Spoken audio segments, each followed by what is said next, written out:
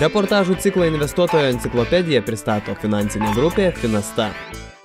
Išvestinė finansinė priemonė yra finansinis instrumentas, kurio kaina susijusi su prekiu, kuriomis šis instrumentas grindžiamas verte. Kitaip tariant, išvestinė finansinė priemonė nuo paprasto finansinio turto skiriasi tuo, kad suteikia teisę arba įsipareigojimą ateityje įsigyti ar parduoti tam tikrą finansinį turtą. Be neplačiausiai išvestinės finansinės priemonės yra naudojamos prekiaujant valiuta bei tokiamis žaliavomis kaip nafta, dujos, auksas, sidabras, cukrus ar kviečiai.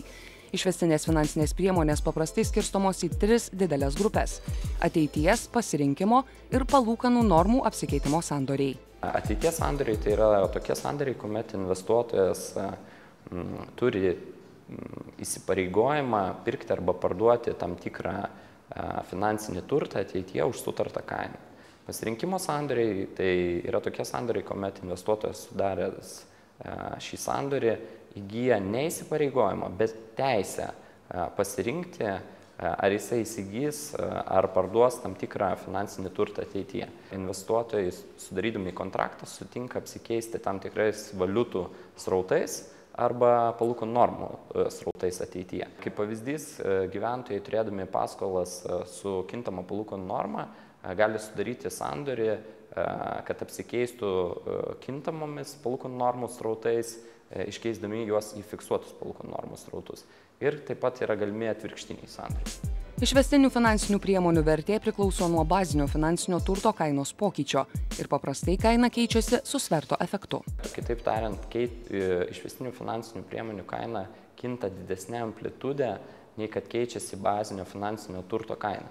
E, tai yra vadinama sverto efektu. E, pagrind, vienas iš svarbiausių dalykų šioje vietoje, kad sverto efektas leidžia investuotojams labai greitai arba uždirbti, arba prarasti kapitalą ir e, ganėtinai taikliai yra pas, pastebėjęs e, apie išvestinės finansinės priemonės ir sverto efektą e, legendinis investuotojas Warrenas Buffettas, kuris yra pasakęs, kad išvestinės finansinės priemonės tai yra masinio naikinimo ginklai.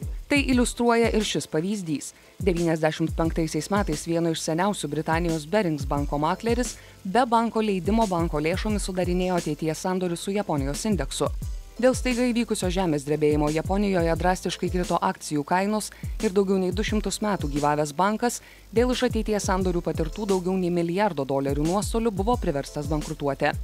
Išvestinės finansinės priemonės naudojamos trijose srityse. Pirmoji ir populiariausia - apsidraudimui siekiant kompensuoti nepalankius turimo turto rinkos kainos vyravimus. Kaip pavyzdys būtų, įsivaizduokim, Lietuvos verslininkas e, yra pardavęs prekes ir su juo pirkėjas atsiskaitys JAV doleriais tik už mėnesio laiko.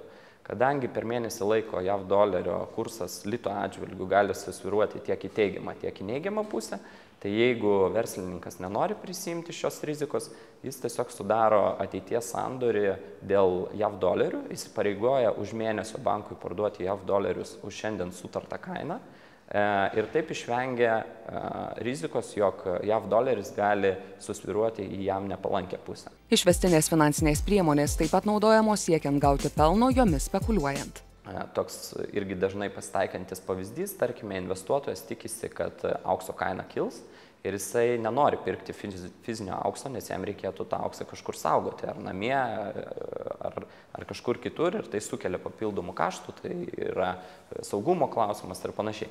Dėl to investuotojas sudaro e, aukso e, ateities sandorį e, ir nesibaigiant dar nespėjus pasibaigti kontraktui, tai yra tol, kol jam nėra pristatomas fizinis auksas, jis parduoda tą kontraktą atgal rinkui.